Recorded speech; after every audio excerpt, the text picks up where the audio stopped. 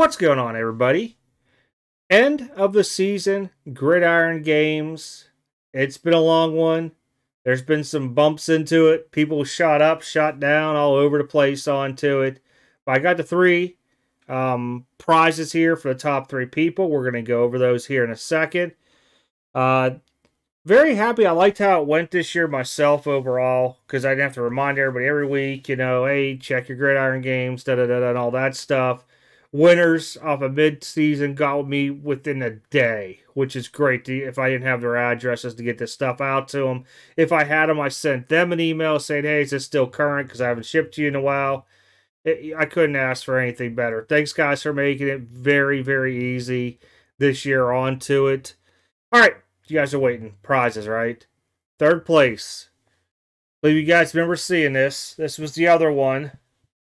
Quad booklet booklet from 15. Just looked at this thing too. Yeah, 2015 National Treasures. These are player worn. You have from the rookie year. Yeah, Cooper. I don't know about Ty if that was his rookie or not. Agholor and Lockett. I think Lockett was 14. I could be off, but I do know it's Cooper's rookie year for sure out of them all. Pretty cool looking patches onto them. Third place. This will be yours. Oh, forgot to say, I will hit all the winners up with who wins what too in a separate video next week. Second place, I picked a collection or collection a lot up this past weekend. And it was the impeccable bar, silver bars you guys seen. Really, really cool stuff. There was a double of this card. Just so everybody knows, I placed these in values of what I thought they would be valued at because some of this stuff you just won't see.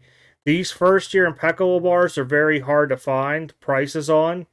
Um, anybody's called me and we've gone over stuff over the phone, to know exactly what I'm saying. Last two years, not many have sold.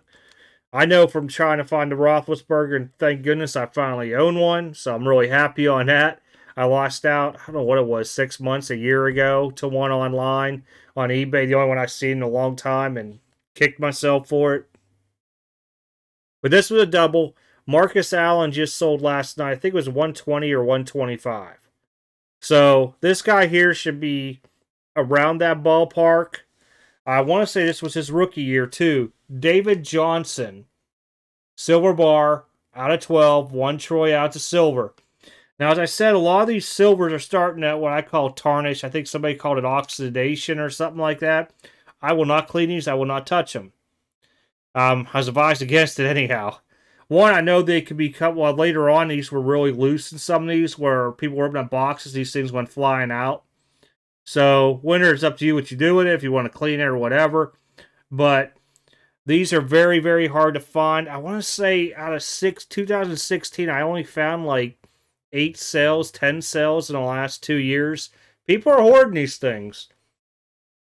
But really cool piece. Figured somebody out there would like this. If you don't, you guys could always resell these things and get something else you like offhand. Winner, winner, winner. Close one there, too. That could still go anyway, I believe, this week. I, I didn't look after last week because I, I, won't lie, I was waiting to find out what's going on between the Bengals and um the Bengals. Yeah, the Bengals and the Bills. I'm like, what the heck am I talking about here?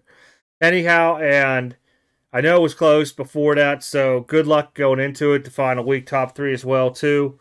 I know I talk bad about a lot of products out there. I'm not a fan of this product, but I'm a fan of this parallel out of it.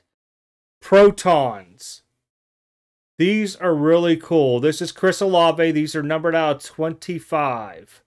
This has a little bit of a two color patch, and I know the team bag and the lighting's probably not doing it justice right now. Let me just try something here. But when if you're the winner and you get to see this in person or you ever see one of these, these are eye catching. I like them. Like I said, I own two, yeah, two, maybe three. Now I just thought, I think I own three others from uh, other years. They're just really cool pickups. I just have. I like the way they look onto it. They're relatively uh, inexpensive compared to what you would pay for a lot of out of other 25, you know, relic material, rookie auto stuff out there.